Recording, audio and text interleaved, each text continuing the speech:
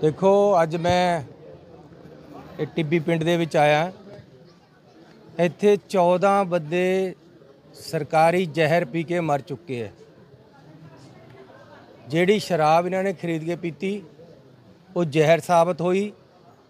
14 ਵਿਧਵਾ ਔਰਤਾਂ ਨੂੰ ਮਿਲਿਆ 14 ਅਨਾਥ ਬੱਚਿਆਂ ਪਰਿਵਾਰਾਂ ਨੂੰ ਮਿਲਿਆ, ਜਿਹੜੇ ਕਿ ਸਰਕਾਰ ਦੀ ਗਲਤੀ ਕਰਕੇ ਅੱਜ ਅਨਾਥ ਹੋ ਗਏ ਹੈ ਤੇ ਸੁਣਵਾਈ ਕੋਈ ਨਹੀਂ ਹੈ। ਗਰੀਬ ਦੀ ਸੁਣਵਾਈ ਕੋਈ ਨਹੀਂ। ਡੰਗਰ ਵੀ ਮਰ ਜੇ ਨਾ, ਉਹਦਾ ਵੀ ਮੁਆਵਜ਼ਾ ਮਿਲਦਾ ਹੈ। ਆ ਹੁਣ ਹੜ ਆਏ ਸੀ, ਉਹਦੇ 'ਚ ਡੰਗਰ ਮਰੇ, ਮੁਆਵਜ਼ਾ ਮਿਲ ਗਿਆ।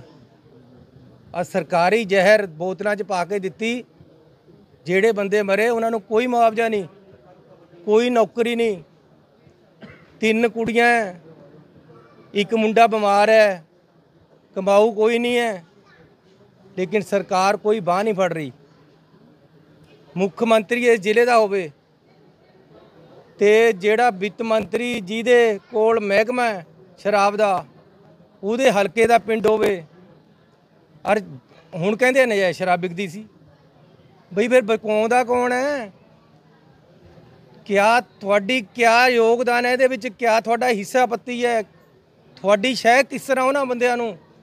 ਤੁਹਾਡੀ ਨੱਕ ਦੇ ਹੇਠਾਂ ਕਿਸ ਤਰੀਕੇ ਨਾਲ ਨਜਾਇਜ਼ ਸ਼ਰਾਬ ਵਿਕਦੀ ਰਹੀ ਹੈ? ਕਿਸ ਤਰੀਕੇ ਦੇ ਨਾਲ ਇੱਥੇ ਘਰ ਘਰ ਚਿੱਟਾ ਵਿਕ ਰਿਹਾ ਆ ਮੈਨੂੰ ਬੀਬੀਆਂ ਹੁਣ ਅੰਦਰ ਰੋ ਰਹੀਆਂ ਸੀ।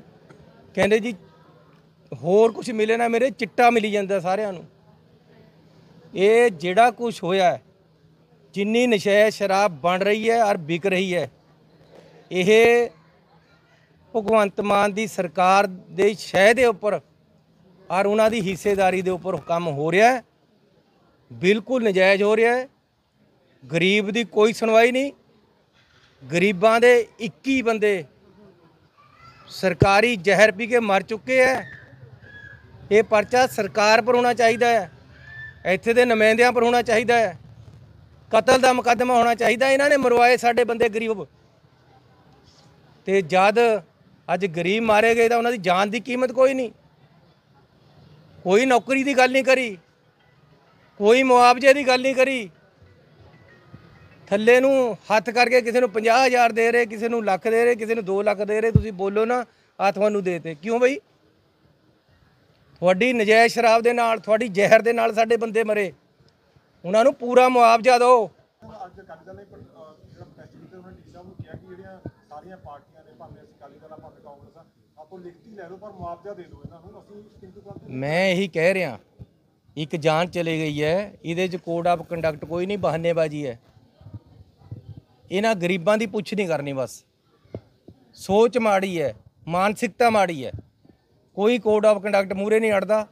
ਮੈਂ ਕੋਲ ਖੜਦਾ ਹਾਂ, ਸਾਡੀ ਪਾਰਟੀ ਦਾ ਪ੍ਰਧਾਨ ਖੜ ਜਾਏਗਾ। ਅਸੀਂ ਅਕਾਲੀ ਦਲ ਵਾਲਿਆਂ ਨੂੰ ਬੇਨਤੀ ਕਰ ਲਾਂਗੇ ਸਭ ਨੂੰ ਬੇਨਤੀ ਕਰ ਲਾਂਗੇ ਅਸੀਂ ਅਸੀਂ ਵੀ ਲਿਖ ਕੇ ਦਿੰਨੇ ਐਫੀਡੇਵਿਟ ਦਿੰਨੇ ਕਿ ਇਹਦੇ 'ਚ ਕੋਈ ਕੋਡ ਆਫ ਕੰਡਕਟ ਨਹੀਂ ਹੁੰਦਾ ਇਹਨਾਂ ਗਰੀਬਾਂ ਨੂੰ ਪੈਸੇ ਦਿਓ। ਤੁਹਾਡੀ ਪਾਰਟੀ ਕੀ ਕਰੂਗੀ ਜਾਂ ਨਹੀਂ ਦਿੰਦੀ ਹੈ। ਮੈਂ ਤਾਂ ਪਹਿਲਾਂ ਕਹਿ ਚੁੱਕਿਆ ਕਿ ਸਮਾਂ ਬਦਲਦਾ ਰਹਿੰਦਾ ਹੈ। ਯਾਰ ਗੱਲ ਸੁਣੋ। ਅੱਜ ਵੀ ਜੋ ਜਿੰਨਾ ਅਸੀਂ ਖੜ ਸਕੇ ਪਰਿਵਾਰ ਦੇ ਨਾਲ ਖੜਾਂਗੇ ਲੇਕਿਨ ਸਮਾਂ ਮੈਂ ਪਹਿਲਾਂ ਕਹਿ ਚੁੱਕਿਆ ਕਿ ਇੱਕ ਦਿਨ ਆਏਗਾ ਕਿ ਅਸੀਂ ਇਹ ਪਰਿਵਾਰਾਂ ਦੇ ਨਾਲ ਜੋ ਇਹਨਾਂ ਦਾ ਬਣਦਾ ਹੱਕ ਹੈ ਉਹ ਮਿਲੇਗਾ।